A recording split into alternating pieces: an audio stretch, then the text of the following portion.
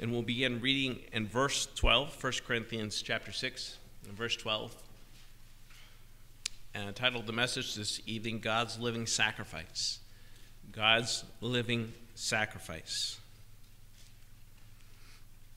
The Bible says in 1 Corinthians chapter 6, beginning at verse number 12, All things are lawful unto me, but all things are not expedient. All things are lawful for me, but I will not be brought under the power of any. Meats for the belly, and the belly for meats, but God should destroy both it and them. Now the body is not for fornication, but for the Lord, and the Lord for the body. And God hath both raised up the Lord and will also raise up us by his own power. Know ye not that your bodies are the members of Christ? Shall I then take the members of Christ and make them the members of an harlot? God forbid. What know ye not that he which is joined to an harlot is one body, for two saith he shall be one flesh. But he that is joined unto the Lord is one spirit flee fornication. Every sin that a man doeth is without the body, but he that committeth fornication sinneth against his own body. What know ye not that your body is the temple of the Holy Ghost, which is in you, which ye have of God, and ye are not your own? For ye are bought with a price. Therefore glorify God in your body and in your spirit, which are God's.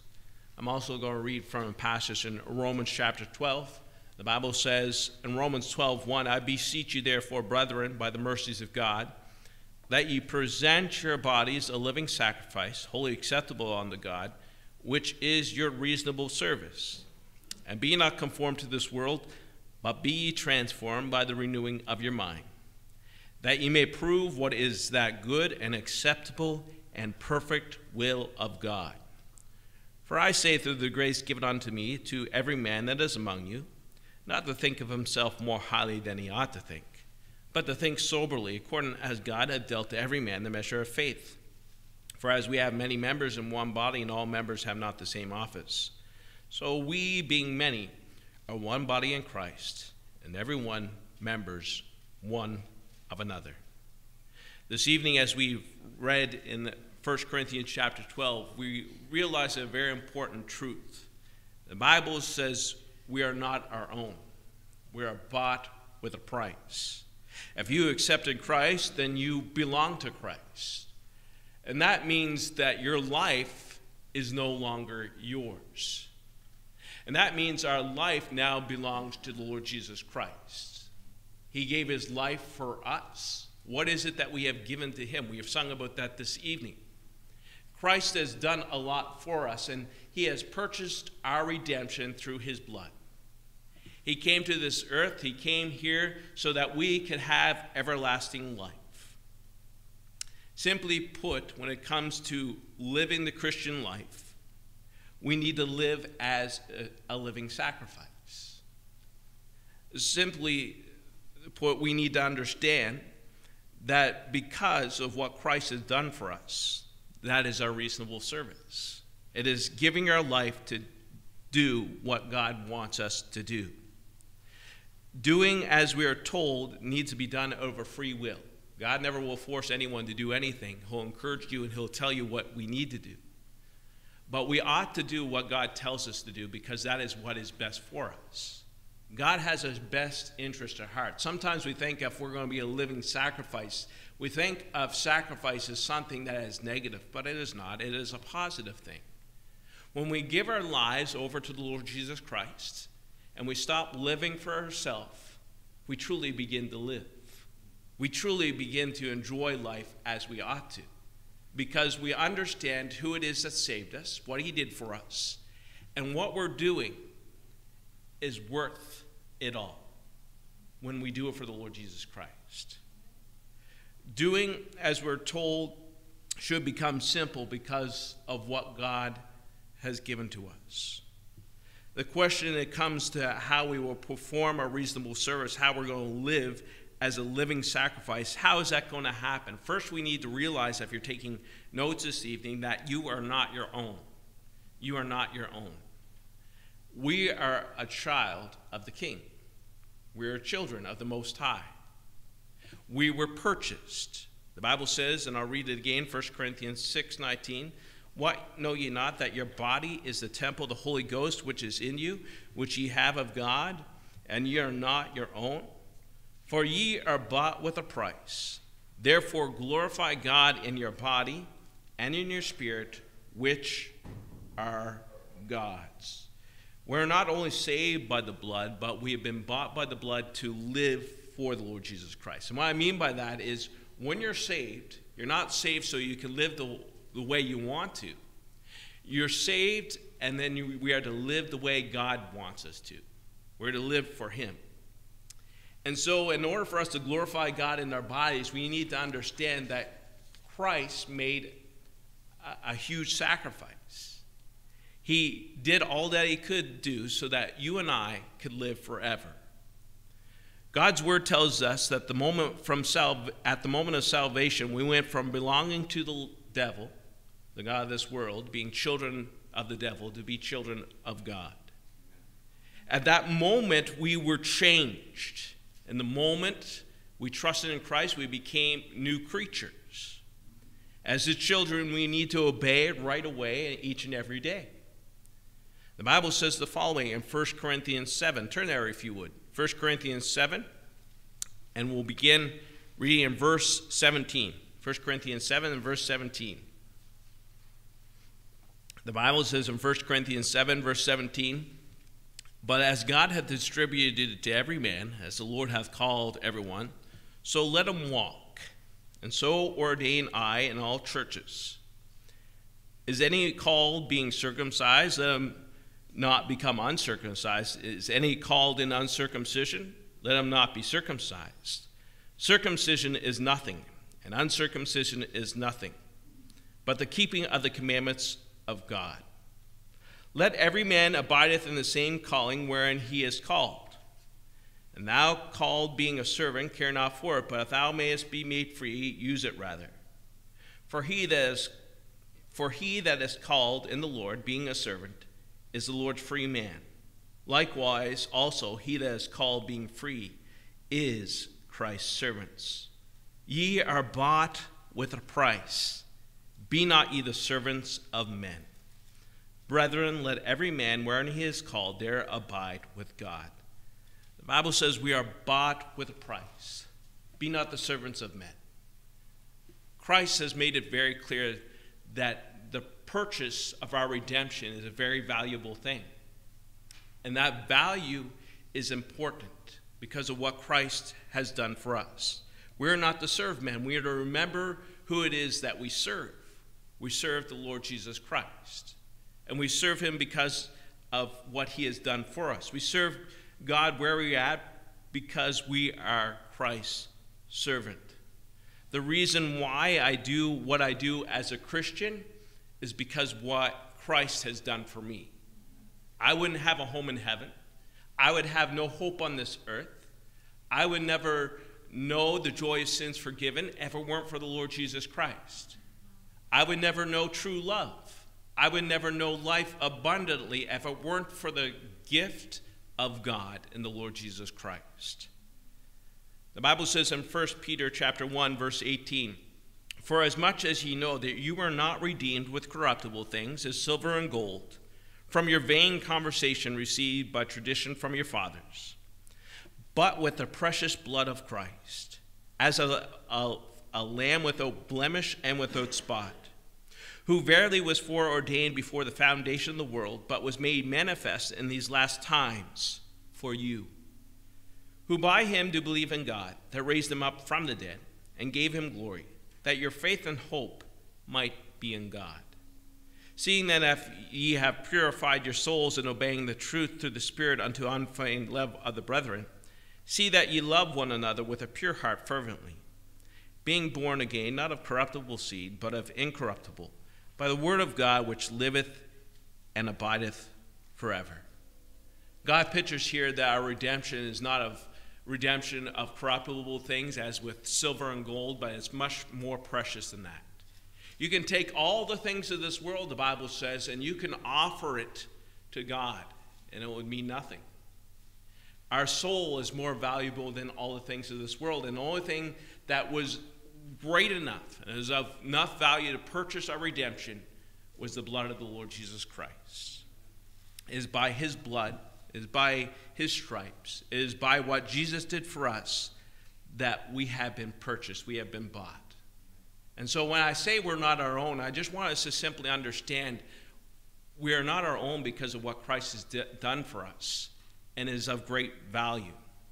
Not only do we see that we're not our own, but because we are not our own, we must understand the importance of obedience. The importance of obedience. The Bible says in 1 Corinthians 6:20, "For ye are bought with a price, therefore glorify God in your body and in your spirit, which are God's." The Bible says when we received the free gift of salvation, when he purchased us, when we received him, we have to understand the simple truth we are God's. Our lives, even before we knew the Lord Jesus Christ, we were created for a purpose, and that was to glorify God. But that was never possible until we trusted in the Lord Jesus Christ for the forgiveness of our sins. But now, when we have received Christ, now we have trusted in Him, we are to do something about it. We are not to take our lives for granted as Christians. We are to live for the Lord Jesus Christ. We are to be different. We're no longer to live like the men of this world. We are no longer to be that natural man. We are to be people who reflect the Lord Jesus Christ in their life. The Bible says the following in Ephesians chapter 4 and verse 30. It says, And grieve not the Holy Spirit of God, whereby ye are sealed unto the day of redemption. Let all bitterness and wrath and anger and clamor and evil speaking be put away from you with all malice. And be kind one to another, tenderhearted, forgiving one another, even as God for Christ's sake hath forgiven you. The Bible has given us instruction to be kind one to another. This is speaking within the church family.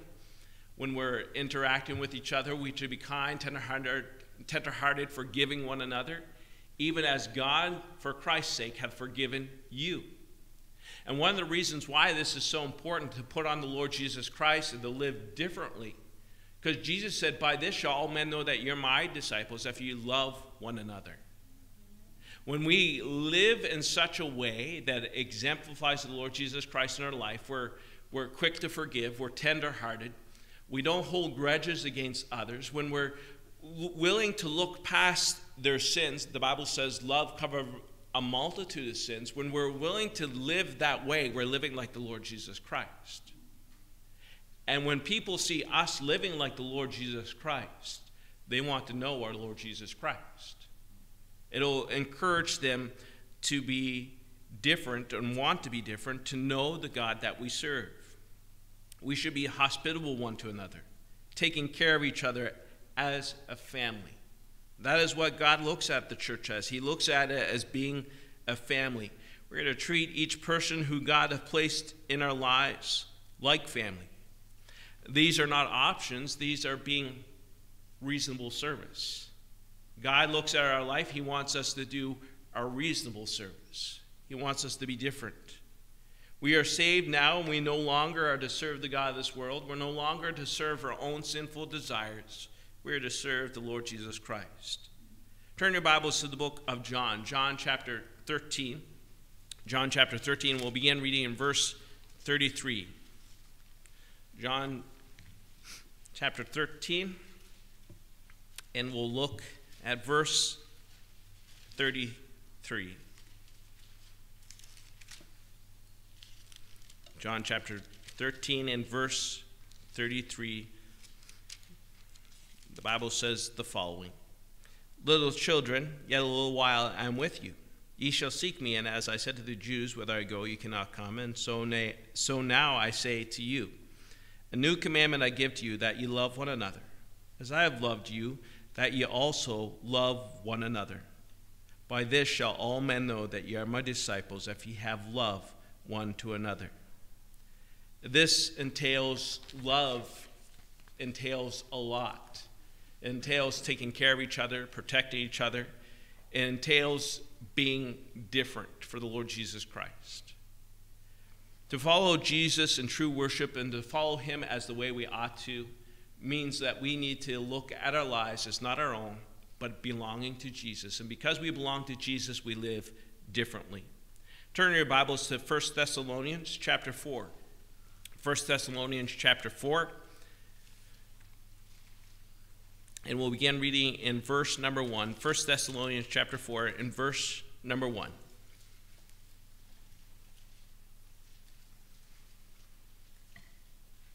The Bible says in 1 Thessalonians 4, verse 1 Furthermore, then we beseech you, brethren, and exhort you by the Lord Jesus, that as ye have received of us how ye ought to walk and to please God, so you would abound more and more. For you know what commandments we gave you by the Lord Jesus.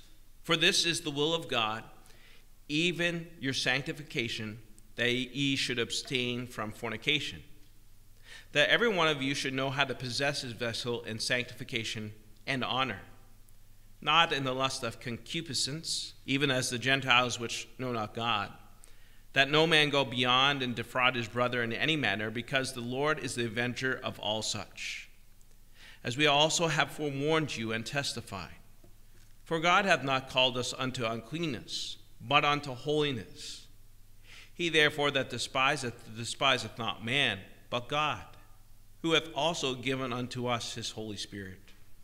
But as touching, touching brotherly love, ye need not that I write unto you. For ye yourselves are taught of God to love one another. And indeed ye do toward all the brethren which are also in Macedonia. But we beseech you, brethren, that ye increase more and more, and that ye study to be quiet, and to do your own business, and to work with your own hands, as we commanded you, that ye walk honestly toward them that are without and that ye may have lack of nothing. Living the Christian life is following the instructions that God has given us in His Word. When we realize what He has done for us, He's purchased us. We live differently by giving our lives to Him to live for Him. We need to realize, first of all, that we're not our own, and then, secondly, that we are to obey Him because what He has done for us. But thirdly, and I'll be done, the result of understanding the importance of being God's living sacrifice is a blessed life. When we give our lives to the one who saved us and we live for him, we gain our lives. We have life and life more abundantly. We experience what it means to have true life. The Bible says in Galatians chapter 6, verse 7 Be not deceived, God is not mocked, for whatsoever a man soweth, that shall he also reap. For he that soweth to his flesh shall of the flesh reap corruption, but he that soweth to the Spirit shall of the Spirit reap life everlasting. And let us not be weary in well doing, for in due season we shall reap if we faint not. As we have therefore opportunity, let us do good unto all men especially unto them who are of the household of faith. Our reward of being a loving Christian who lives like the Lord Jesus Christ is that it will impact people around us. You'll impact your brothers and sisters for the Lord Jesus Christ to be different. When you give your life to Him and you submit to Him and you follow Him, your faithfulness will not go unnoticed. People will take notice and you will be an encouragement. The Bible says in Luke chapter 6, verse 37 Judge not, and ye shall not be judged. Condemn not, and ye shall not be condemned. Forgive, and ye shall be forgiven. Give, and it shall be given unto you, good measure, pressed down, and shaken together. And running over shall men give into your bosom. For with the same measure that ye meet, withal it shall be measured to you again. God's word is teaching us the principle we reap what we sow. And when we sow to the flesh, we live for ourselves, we reap corruption. But when we sow to the Spirit, we live according to the Word of God, we live the way God wants us to, we reap life everlasting. And one of those ways that happens, the way we have a better life, is the Bible says when we give, the men give unto us. They take care of us. They, they notice and they will bless our lives when we're a blessing to others. Not only do people take notice, but more importantly than people taking notice, Jesus takes notice. And your life will be blessed. We, we're not in the business of being taking notice of men so we can receive benefits for ourselves, but we ought to be in the business of living like the Lord Jesus Christ so that God takes notice, so that we're pleasing to God. The Bible says in Matthew chapter 10, verse 40, He that receiveth you receiveth me, and he that receiveth me receiveth him that sent me. He that receiveth a prophet in the name of the prophet shall receive a prophet's reward. And he that receiveth a righteous man in the name of a righteous man shall receive a righteous man's reward. And whosoever shall give drink to unto one of these little ones a cup of cold water, only in the name of the disciple, verily I say unto you, he shall no wise lose his reward. When we think about the Christian life, we're saved from sin, we're saved from the punishment, we're saved from the wrath to come. We're encouraged to live like the Lord Jesus Christ and be different. And really, that's all it really needs to be. We, we don't deserve eternal life because of our sin, because of what we have done all God should really expect from us after He saved us is just to do as we're told and be done with it. But God gives more grace. He says, When I saved you and you trusted me and you follow me, not only do you have eternal life, but you're going to be rewarded for it. You get to lay up for yourselves treasures in heaven. And I believe when we get there, we'll be able to lay those treasures at the feet of the Lord Jesus Christ and thank Him for all that He had, has done for us. But we have to remember about the Christian life being the living sacrifice, that being a living sacrifice, God's living sacrifice, it's not something we're to look at and think to ourselves, this is going to be a hard thing. And what I mean by that, I'm not saying the Christian life is easy. Don't get me wrong. It takes discipline, it takes effort, it takes desire, it takes diligence. But I want you to understand when we get to heaven, we get to say, it was worth it all. It, we look at the here and now, we look at the difficulties of the here and now, but when we're willing to be a living sacrifice and do as we ought to, because of what Christ has done for us, we'll get to look back when we follow Him, we trust Him, and we do all that we're supposed to because of His love. We're going to be able to look back and see all that He did in our lives, and we're going to see all the rewards that He gave to us. And yes, there was difficulties, but we're going to look at it and see that it was worth it all to be the living sacrifice that God wanted us to be. We are not our own. We should live for the Lord Jesus Christ because of that. This is our reasonable service. The question is, are you doing your reasonable service? I want to be encouraging to you, then understand we all need to pray for each other that we do our reasonable service. It's a daily battle. But God is there to give us strength each and every day. We go to Him in prayer, He'll help us each and every day by step by step. We're not alone. We have brothers and sisters in Christ who we can go to, we can pray for each other. We have, uh, Lord willing, some of us were blessed with families. We can go to our families, but we also have a church family. Don't ever forget that. Sometimes we think that we're alone where we're at and what we're going through, but we're never alone with the Lord Jesus Christ. And that's a very important truth as well. Jesus said, I'll never leave you nor forsake you.